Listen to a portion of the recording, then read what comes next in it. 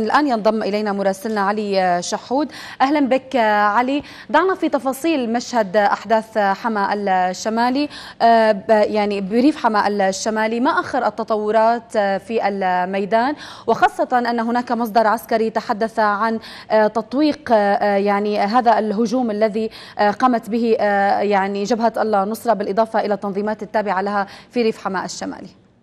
نعم زميلة ربا الجيش العربي السوري أو القوات العاملة في الجيش العربي السوري في ريف حماة الشمالي تتصدى لهجوم قامت به هذه الجماعات الإرهابية المسلحة على محوري طبعا خطاب وأيضا صوران أيضا آه، هذه المنطقة تصدت لها قواتنا العاملة في هذه المنطقة وكبدتها خسائر كبيرة في العتاد والأرواح آه، آه، ودمرت لها عدة عربات مزودة برشاشات وكذلك تم تدمير عدد من العربات الثقيلة والمدرعة في ذات المنطقة.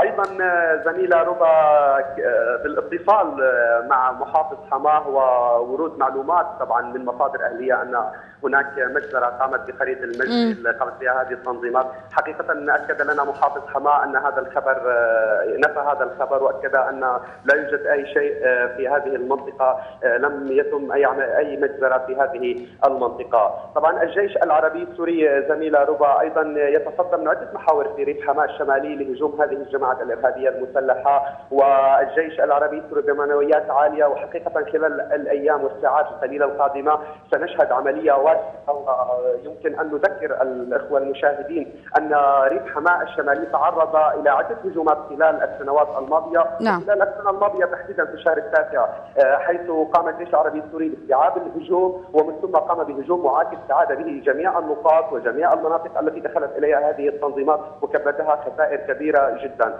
أيضا الجيش العربي السوري في هذه المرحلة يقوم باستيعاب الهجوم ومن ثم ستتم عملية هجوم معاكس وحقيقة بدأت هذه طلائع الهجوم وخلال كما ذكرنا خلال الساعات القليلة القادمة والأيام القليلة القادمة ستشهد المنطقة هجوم واسع آه، للجيش العربي السوري ومعنويات المقاتلين والجيش العربي السوري عالية جدا ومتحمسون للهجوم المعاكس بإذن الله خلال الساعات القليلة القادمة بإذن الله. نعم، على كل حال سنبقى أيضا مع تفاصيل هذا المشهد بالتحليل العسكري آه، في هذه التغطية، شكرا علي شحود مراسلنا من آه، حما.